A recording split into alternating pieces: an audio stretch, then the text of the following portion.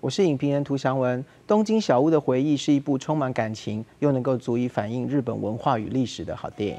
日本电影大师山田洋次最新作品《东京小屋的回忆》，带你重回三零年代的二战背景。他讲的也是整个从啊这个三零年代二战快要开始，一直到发生二战，然后一直到后来战后，整个的到当代的呃年轻人去面对这段历史、爱情故事或是一个主仆关系的故事里面，这个背景其实必然是很重要的一个背景。小屋里的主仆关系带出浓浓的人情故事。我觉得有意思的是这个情怀啊，那反而那个偷情啊，在电影里面，我觉得倒不是大家想象的那种偷情，他还是会看到一个很清楚的这个日本的文化跟这个时代背景的一个演技。所以我觉得人情还是这个电影里最重要的、最迷人的一个地方。异想世界带你揭开尘封一甲子的恋情。六月十三号下午四点，晚上十点半，锁定 UDN TV《异想世界》。